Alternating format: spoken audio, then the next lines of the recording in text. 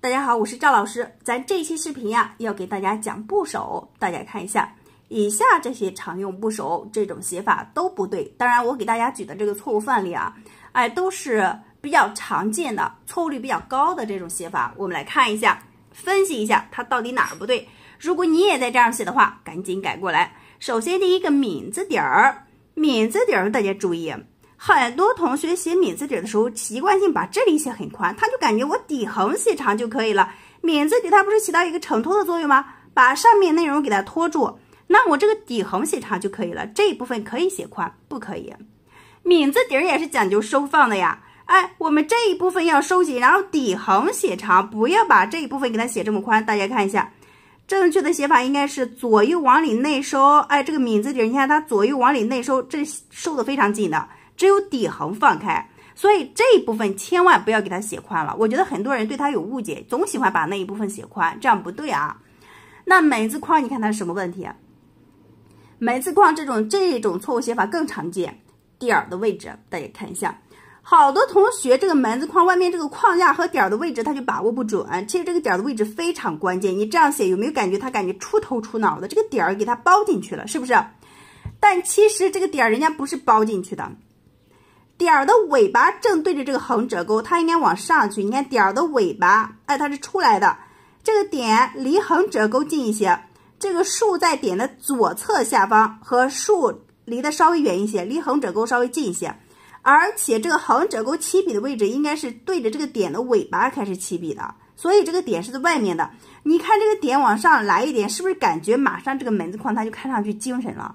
如果你把这个点儿包进去，它看上去就是出头出脑的。大家看一下，你看点儿在这儿，如果竖和横折钩我给它一包，你看看它是什么样子？是不是感觉缩进去了，对不对？所以这样写是绝对不对的啊！注意点的位置。然后第三个，宝盖头的写法，宝盖头的写法它错在哪里？错在横钩。哎，这个点和横钩，你看点，你可以写成左点，也可以写成竖点。但是横钩，注意这个钩要短小有力，往回勾。哎，你写出来的宝盖头，它应该是左边低，右边高的。你看点儿，哎，竖点儿，然后横往右上，微微往右上扛肩，好往右下按压，然后往回勾。大家看一下，哎，应该是这边低，这边高一些的，要注意。你不要把这个钩往下勾，好多同学就是咔一下往下勾，总是喜欢往下勾，这样不对啊。它是这边高这边低的啊，要注意这个横钩的写法。然后锥字旁，这个锥字，哎，锥字做右旁的时候，大家一定要注意，这个竖它就没有收着的，肯定是这个竖要放出去，然后四横挨着这个竖写，紧挨着这个竖写，四横要紧凑，包括它左边的内容都要收着写。哎，就只有这个竖是往下放出去的，这个竖一定要拉长啊，不要把这个竖写短，竖往下写长，然后四横写紧凑，哎，让这个竖往下长出来一截，这一点要记住。走字底，走字底，首先你有没有发现这个字底它写的非常的平，没有精神气，那怎么办？你横往上扛肩，这个精神气不就来了吗？走路低头，它看上去肯定没精神。如果你抬头挺胸，这个精神是不是就来了？对不对？横往上扛肩，精神马上就出来了，这是第一点。那第二点，它这个横你就不能往右边伸过去，这边是对齐的呀。哎，因为它里面有内容要写，走字底，走字底，是不是里面有内容要写？所以你这个横是不能伸出来的，伸出来它就会影响，哎，影响这里面内容的书写。那内容只能往这里面内容只能往外写，往外写它就感觉不紧凑了啊，要注意。所以这里个笔画要避让一下。横是不能伸过去的，这里是小横是对齐的，要注意。我们现在来把这几个部首的正确书写方式给大家演示一下啊。首先，第一个“敏”字底儿，大家看一下，竖往里内收，然后横折，再往里收。哎，它是左右内收的这一部分，我们就是要给它收紧，然后长横。哎，左右往两边伸展出去就可以了。哎，这是敏字底的写法，收和放对比鲜明。然后我们来看第二个门字框，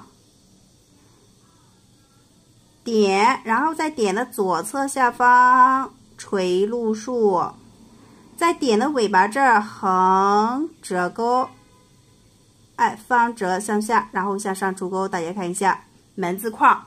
哎，这个点不要给它包进去，要在外面。点离竖略远，略远一些，离横折钩要近一些。这两条腿是左短右长的，这是门字框。然后我们来看下一个宝盖头，点儿，哎，竖点或者左点都可以。然后横钩接上去，好，往右上扛肩，往右下顿，往回勾。哎，这个钩要短小有力，你写出来应该是左边略低，右边略高一些的钩，不要往下勾，往回勾啊。